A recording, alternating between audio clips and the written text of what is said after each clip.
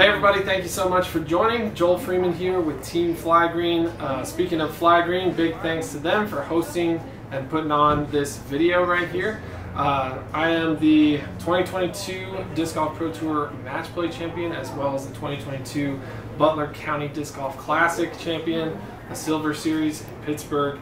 If you haven't seen that final round, go watch it. It's exciting. Today we're here to get in the bag. Um, I'm going to show you what I'll be throwing during the season of 2024. So let's get right into it. Everybody likes to start off with the putting putter. So here we are. Uh, right now I'm trying the Yeti Pro Aviar. Uh, these are a glow Yeti Aviar and uh, big bead, kind of a blunt um, edge that'll kind of perform well in the wind and a pretty straight flight. So that's what I'm working with right now. This is uh, less of a putting putter and usually more of a thrower or a, I don't know, like an anhyzer putt. It's a super, super, super understable Nexus Zero. The last putter I carry, um, it's not many.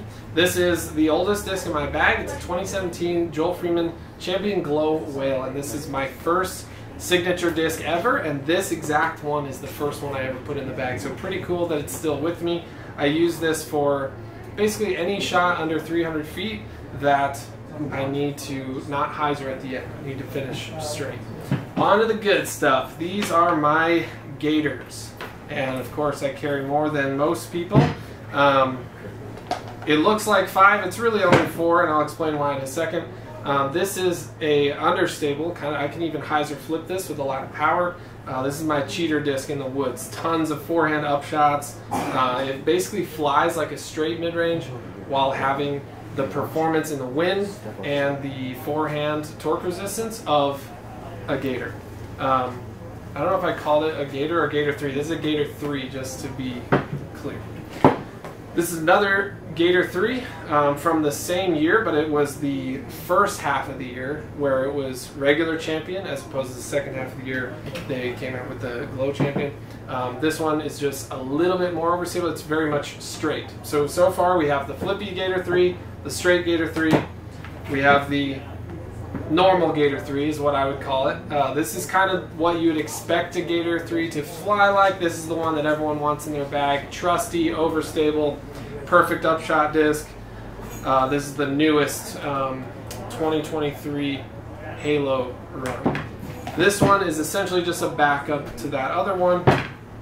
And this one's really special. This is the, I think it's a 2018 Scott Withers Glow Gator, and this is the most overstable mid-range that Innova has ever manufactured. Um, so this thing's really special. On those crazy days when it's 30 plus mile an hour winds, I'm using that for every single upshot. All right, down here in the lower compartment, we've got a couple more mid-ranges. Um, these are both chariots. This one's super straight. This one's understable. So I can get long panning anhyzers, hyzer flips, that kind of thing. And this one's just self-explanatory, super straight. Um, this run came out all stiff and it's it's perfect. I put tons of power into it. Perfect mid-range for me. All right, this is, these are some of my favorite discs uh, in my bag right here. Um, I'll mention this one real quick, the EX, sorry, EXPX from Millennium. Um, a lot of people haven't heard of this. Basically think a really overstable version of a T-Bird. Like somewhere between a T-Bird and a Firebird is basically what this is. Um, I don't use that seven, like six, seven, eight speed range in my bag very often. Um, but this is a seven speed and I'm experimenting it with right, right, experimenting with it right now. I don't know if it'll last or not, but it's in the bag for now. All right, next up, I've got this incredible 11-time Firebird from the man himself, Big Jerm. Um, I think he used to bag it, and now it's mine. This thing is exceptionally overstable. Perfect for thumbers, forehand rollers, dramatic flex shots, or severe wind or whatever. Um, this one is same idea, but just a little step down. Not quite as aggressively overstable. I use this one a lot. It's probably my go-to Firebird. This is, uh, sorry, these are both Firebirds. This is also a Firebird. And this one is a little different. This one will stretch a lot more. You put power behind it, it'll stretch with still having that dependable fade. Thunderbird, same idea, but just stepping one more little half step in that understability. Uh, it's kind of straight with fade at the end. This one is a Halo Dynasty, and this disc is really nice. Uh, I'm still getting used to it because it hasn't been in the bag for super long, but this is a laser straight 9 speed, so I can just flow it, throw it flat. It'll maybe turn a tiny bit, fade a tiny bit, but it's, it's just very straight, generally speaking. This is one of my favorite discs in my bag, and this is the reason why I like a 9-speed so much. This is the Halo Savant, and I think it's a first run Halo Savant, um, which is one of the more understable ones. This, in my mind, is what a Savant is supposed to be. Um, I can power this thing on a baby hyzer, and it'll flip up and go forever. I don't know, 460. I could, I don't know, push it give or take, you know, 20 feet. Um, but this disc to me flies like a mid-range with the distance of a driver. So that is just a really special pair of features to have in a disc. This thing is amazing. All right, next up we've got a Sidewinder. This is brand new to my bag because sadly I just yesterday actually lost that Thunderbird that was in my bag. If any of you have been following me for a while, that red Thunderbird beat up Fly, flew like a sidewinder. Uh, that was my baby. It was like, who knows, 12 years old or something. Hopefully this one's a great replacement. Liking it for now. We'll see how long it lasts. This uh, is a twin of that one. It's the exact same run, exact same color and everything, but this one's years old, has been in my bag. I've been beating it up forever, so it's extremely understable, perfect for rollers. Um, it's honestly too flippy for like a hyzer flip. It, it'll flip over too much. So pretty much just rollers or get out of trouble shots occasionally. Okay, another disc from the big man himself. Jeremy Koling gave me this Champion Boss from 2023. Um, he described to me that this had a special degree of overstability. So it is hard to find a disc that has extreme overstable and extreme speed at the same time this has both of those features, makes it really helpful on super windy days when I'm out there on the Pro Tour kind of courses. When the wind is, wind is howling, but I still need control plus 450, 500 feet of distance, this is the one that'll actually do both of those things at once. Um, you guys know what this is. Calvin Halo Destroyer. It's overstable, it's trusty. This is my probably my most thrown driver in my bag. Very trusty. This is the go-to. This one is very similar to that. This is a bottom stamp, stamp destroyer. Um, and it's just a little bit straighter than the Halo one. Still nice and trusty. Overall, very straight. This one is the same idea, bottom stamp destroyer uh, in star plastic, and this is one of my favorite discs in my bag. Um, I can pop it out on a little bit of hyzer. It'll flip up and go forever. Um, when I'm at low elevation, this is probably my farthest flying disc. Uh, maybe not quite in Colorado. It's a little closer to like a straight flyer. Um, but use this a bunch in the woods. It's a beautiful disc.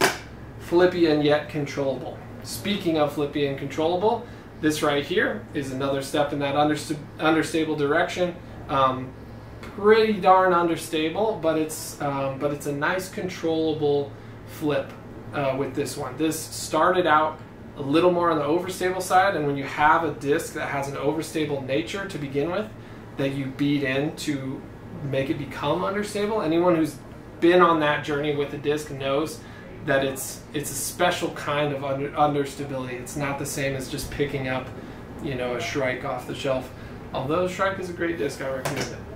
And last but not least, one of my least used disc um, discs, but helpful when I need it. This is a super understable Champion Destroyer. It's ancient um, and just incredibly understable. So sometimes standstill forehand or something that I really need to go far and never fade, um, I might pull this out right here. And uh, yeah, last we'll just kind of run through some of the some of the little extras. Of course, I've always got the water bottle, trying to stay hydrated. Got the dirt bag, and I do this a little bit differently than most people. This is just good old-fashioned dirt. Anytime I see some good dirt around me, take a little handful. add it to the mix. Uh, for any of you who like that natural dirt feel, you know what I'm talking about, the good dirt. So this is some good dirt. I do keep a little kind of birdie bag in there just to kind of help to grab the dirt and kind of mix it all around, get it on my hand. Um, I've been loving that system for for years now. It works works great for me. Got uh, the good old towel. Got some resistance bands for uh, warming up. Let's see.